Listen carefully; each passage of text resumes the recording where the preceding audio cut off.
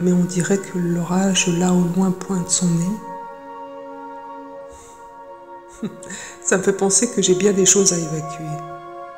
Peut-être la tempête peut m'aider.